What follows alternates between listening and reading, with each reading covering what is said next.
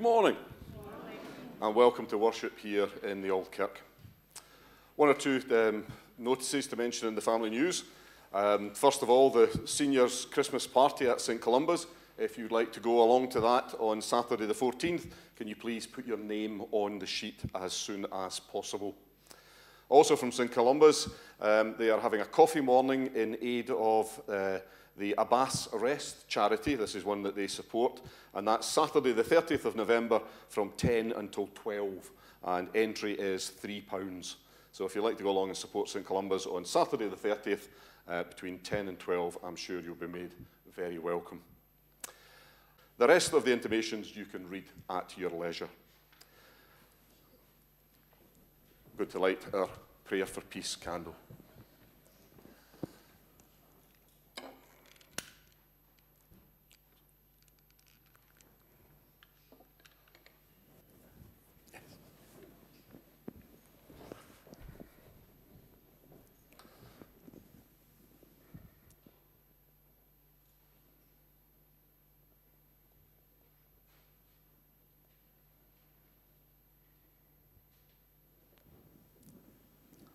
Thank you. And David Brown's just reminded me, could all those who are involved in the pantomime, can you wait behind for five minutes at the end of the service? Let's worship God as we sing together. Number 69 in Songs of God's People, Look Forward in Faith.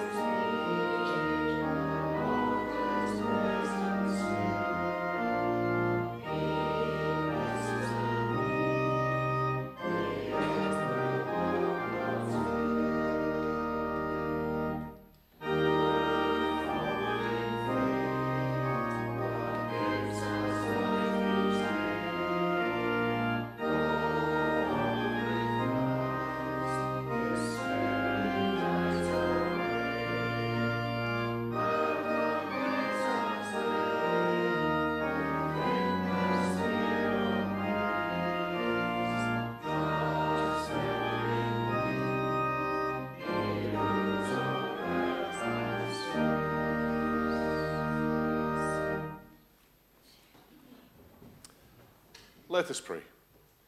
Sovereign God, again we come as part of the great company of your people to offer you our worship, to give you the praise and the glory, the honour and the thanksgiving that you and you alone deserve. Lord of all, hear our prayer. We come with awe and wonder, humility and reverence, joy and celebration, for you are a great God above all gods, gracious and loving the creator of the ends of the earth, the giver of life in all its fullness. But we do not just bring our praise, we bring also our confession. For we have failed you in so much. We have not worshipped you as we should. We have not shown proper gratitude for all you have given us. We have not looked to you for guidance, nor have we always followed it when you give it. We have not loved one another or our neighbours as much as we love ourselves. We have been thoughtless, careless, selfish, and so much else we should not have been. Lord of all, hear our confession. We come with sorrow and a sense of shame, throwing ourselves once more upon your mercy, depending on your grace to lift us up and to renew us once more. Grant us your forgiveness and do not hold our faults against us. Give to us time for repentance and the strength to turn from our sins back towards you. Use now this time of worship to touch our hearts, to speak to our minds, to transform our lives. Lord of all, hear our cry through Jesus Christ our Lord. And hear us now as we say our family prayer together. Our Father, who art in heaven, hallowed be thy name. Thy kingdom come, thy will be done on earth as it is in heaven. Give us this day our daily bread, and forgive us our debts as we forgive our debtors. And lead us not into temptation, but deliver us from evil. For thine is the kingdom, the power, and the glory forever. Amen. Now I'd like to ask Fred Stevenson to read our lessons.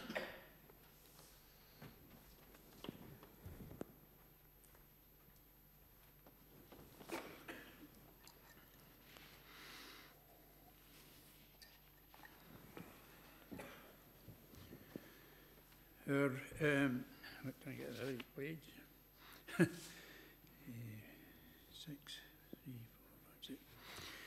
First reading this morning comes from the book of Jeremiah, chapter 32, and we're reading from verse 6 to verse 15. Jeremiah said, The word of the Lord came to me, Hanamel, son of Shallum, your uncle is going to come to you and say, Buy my field at Anathoth because as nearest relative it is your right and duty to buy it. Then, just as the Lord had said, my cousin Hanamel came to me in the courtyard of the guard and said, Buy my field at Anathoth in the territory of Benjamin, since it is your right to redeem it and possess it, buy it for yourself. I knew that this was the word of the Lord, so I bought the field at Anathoth from my cousin Hanamel and weighed out for him seventeen shekels of silver. I signed and sealed the deed, had it witnessed, and weighed out the silver on the scales. I took the deed of purchase, the sealed copy containing the terms and conditions, as well as the unsealed copy, and I gave this deed to Baruch, son of Neriah, the son of Mahseiah, in the presence of my cousin Hanamel, and of the witnesses who had signed the deed, and of all the Jews sitting in the courtyard of the guard. In the presence I gave Baruch these instructions. This is what the Lord Almighty, the God of Israel, says Take these documents of deed of purchase and put them in a clay jar so that they will last a long time. For this is what the Lord Almighty, the God of Israel, says Houses fields, and vineyards will again be bought in this land. Amen. We sing 579 in Mission Praise Restore, O Lord,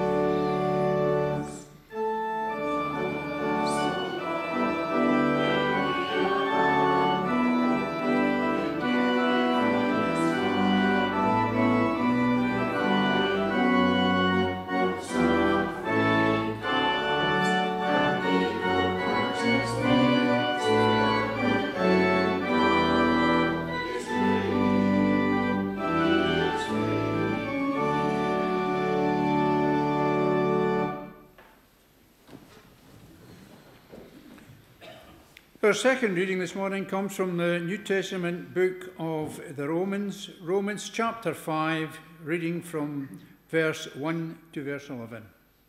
Peace and joy. Therefore, since we have been justified through faith, we have peace with God through our Lord Jesus Christ, through whom we have gained access by faith into his grace in which we now stand, and we rejoice in the hope of the glory of Lord. Not only so, but we also rejoice, rejoice in our sufferings, because we know that suffering produces perseverance. Perseverance, character, and character, hope.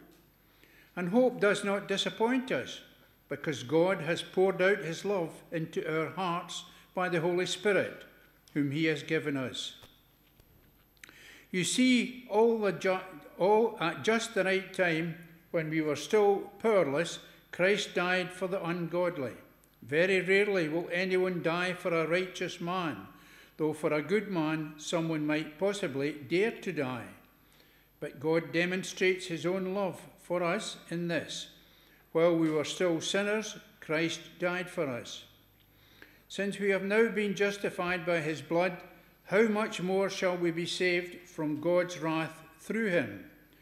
For if when when we were God's enemies, we were reconciled to him through the death of his Son. How much more, having been reconciled, shall we be saved through his life? Not only is this so, but we also rejoice in God through our Lord Jesus Christ, through whom we have now received reconciliation. The Lord bless to us the reading of this word, and to him be all glory and praise. Amen. Thank you, Fred, and apologies for all those funny names. And the that first one. there was some reading that first one. we sing 16 in Mission Praise, All My Hope on God is Founded.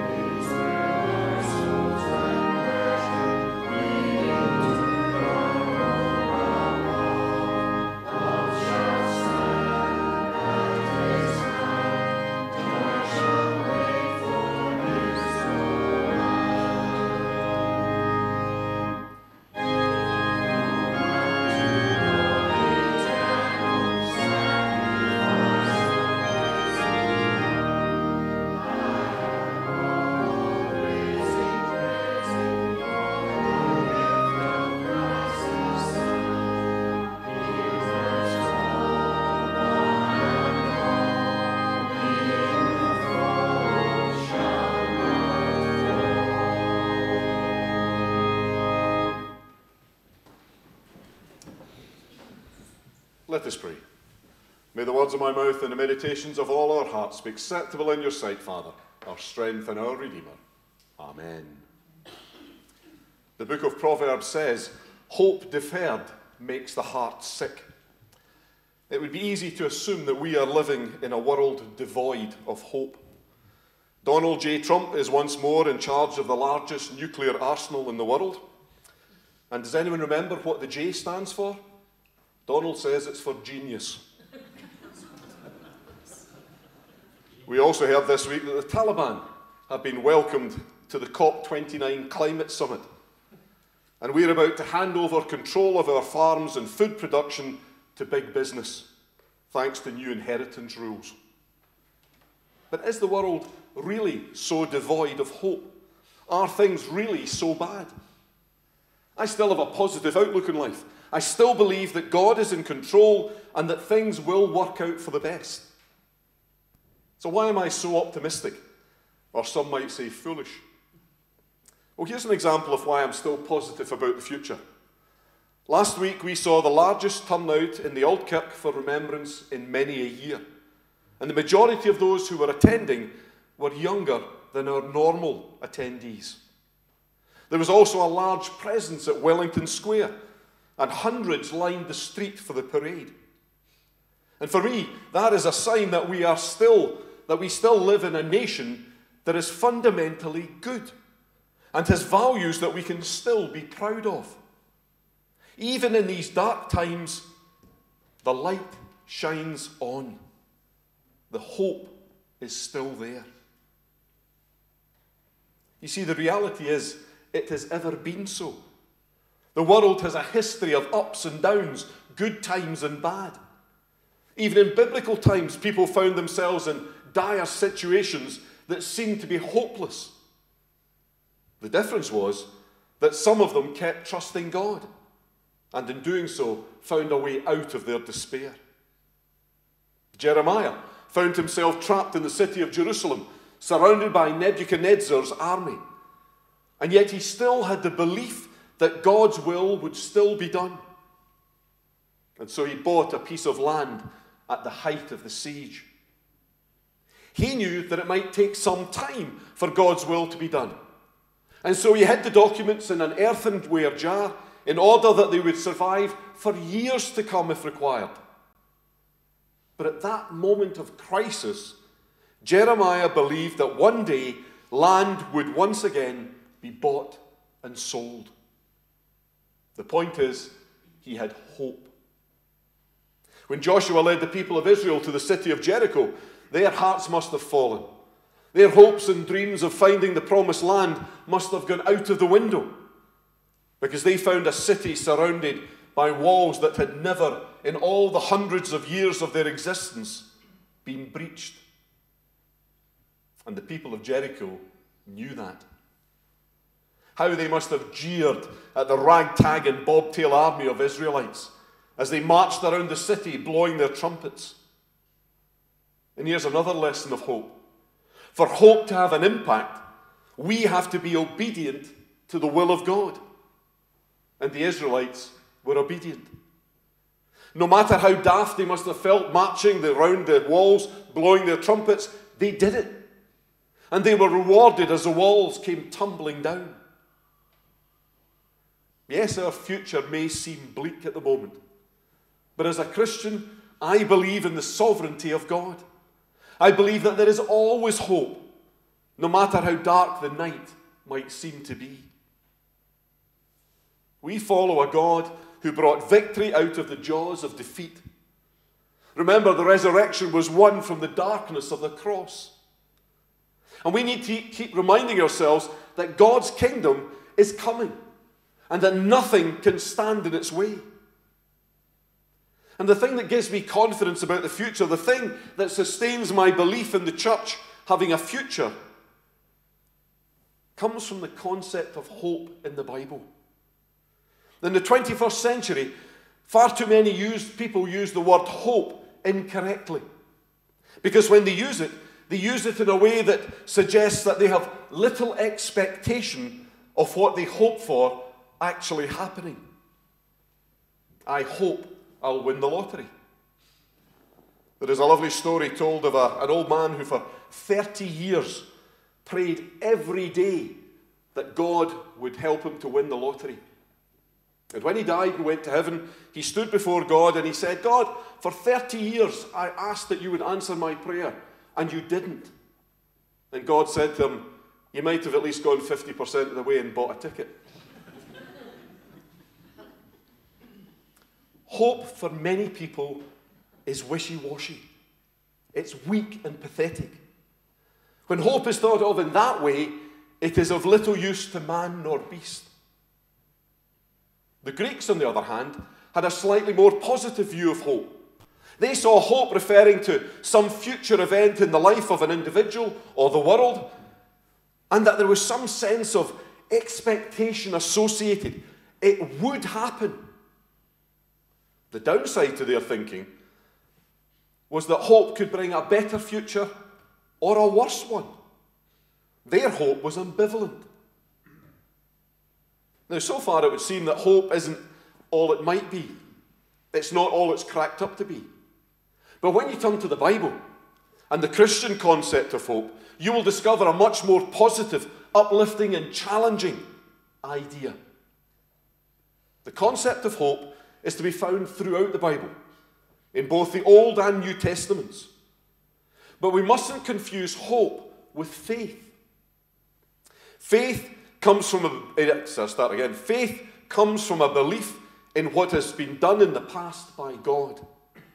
Hope is a belief in what is yet to come in the future. Faith comes from a belief in what has been done in the past. Hope is a belief in what is yet to come in the future. But hope is not just about receiving blessings at this point in time, in this life. It is about believing in something better to come, possibly in this life, but definitely in the next. That is, we should not expect God to act now, not today, to change our circumstances.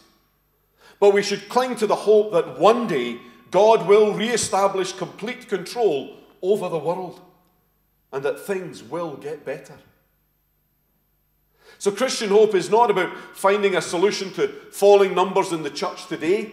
It's about believing and trusting that one day the church will be full again. Christian hope is about looking forwards and upwards. It's not about waiting for life to begin. It's not about waiting for death. It's about grabbing life by the throat and giving it all you've got now. Knowing that no matter how tough life might be in the present, God is going to do something wonderful in the future. It's about having an optimistic view, not a pessimistic view of life. It's about believing in sunrise Christianity and not sunset Christianity. Christian hope is what keeps us going in the tough times. Not because it offers us instant relief, but because it promises that the present suffering will not last forever. It was that hope that kept Jeremiah going. It was that hope that encouraged him to buy a piece of land as an investment for the future, despite the nation being overrun by its enemies. His purchase, hope, his purchase showed that he had hope for a return to normality sometime in the future. The same is true of the Israelites marching round the city of Jericho. Their obedience showed their trust in God. Hope can help us to keep going until either the kingdom of God arrives or we finish our journey of faith and we receive our reward in heaven. So, how do we get this Christian hope? Firstly, the foundation of such hope is found in the resurrection of Jesus. The culmination of Christian hope is the second coming the return of Christ in all his glory. In other words, we cannot expect to have hope or to hold on to hope in times of need unless we have faith in the resurrection of Jesus. And unless we believe that one day he is going to return to earth to reclaim his rightful position as Lord of Lords and King of Kings. And that means that we must make sure that we remain faithful to God and to his plans for us because that's the only way our faith will be able to grow. And remember, faith is about believing in what has been.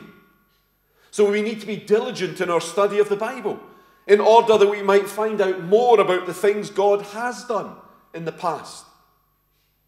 But maybe more importantly, We need to be vigilant about the things that God is doing today. There are so many signs around us of the hope of God, but we're too blind or too busy to see them. We allow our vision to be impaired by all the bad things that go on in the world, failing to see all the good that there is. The improved relationships between the town centre churches here in Ayr, the willingness of church leaders to share and help one another are signs of hope. But there are also other signs of hope in the world, signs that are all around us. For example, in other parts of the world, the church is growing. But because it's not happening in our congregation, we're not that interested. We need to open our eyes and our ears to see and to hear the good things that God is doing all around us. Not just in the world, but right under our noses. We must also keep faith with those things that have stood the test of time when it comes to sharing our faith. A few years ago, I attended my first ever humanist funeral. The celebrant was very good, spoke very well about my aunt, and had obviously done his homework. But he was unable to offer the people gathered any hope, any comfort, because all he could say was that her time had come to an end. Whereas as Christians, we are able to offer mourners something more to hold on to, something that gives them hope that one day they will be reunited with their loved one. And who knows the good we might do by helping others to mourn and to grieve. I should also say that I had to bite my tongue when the humanist quoted from the Bible during his committal, but never referenced it, and then left out the words, Pray for me from Henry Scott Holland's poem about death, despite having made such a big thing before the service began about it having no religious content? Or what about the families who still want their children baptized? Or the couple, like the couple who wanted me to bless their wedding because the little boy had been, due to illness, unable to travel with them to the States where the wedding was to take place? For them, the fact that he was missing made them feel that their marriage was incomplete. And so they came to the church to ask for help. We still have much to offer, and people still need us and want us. And that is what should give us hope. Churches are like seeds that God has scattered across the nation. Our job is to tend them and nurture them and watch them grow and flourish. But like seeds, not all will flourish at the same time, and some might not survive at all. And it will take time, it will take energy, and it will take commitment. But if we're faithful, then we will be rewarded, and our reward will be a sense of hope that will see us through the darkest of nights. Okay, our world is in a mess. The church is in a mess. But it has been before.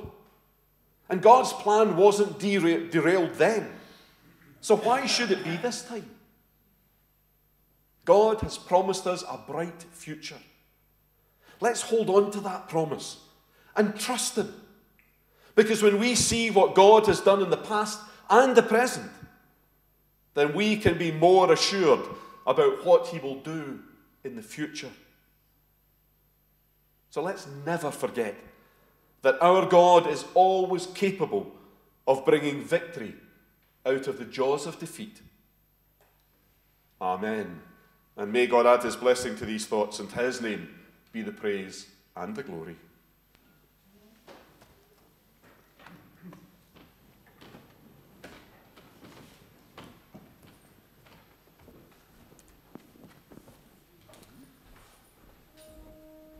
Let's worship God with our offering.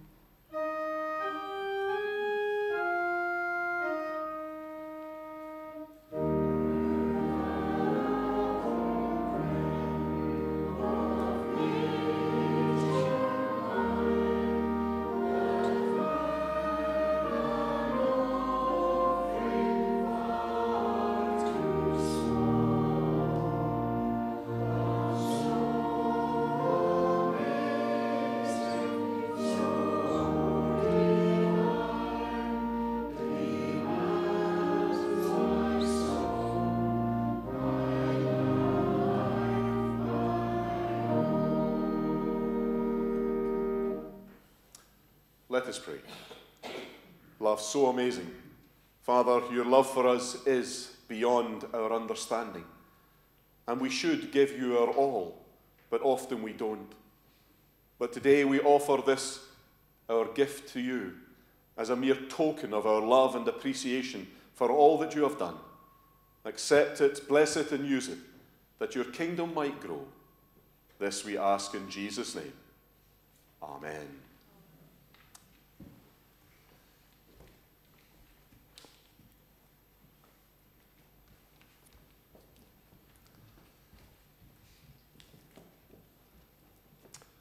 Our prayers for other people.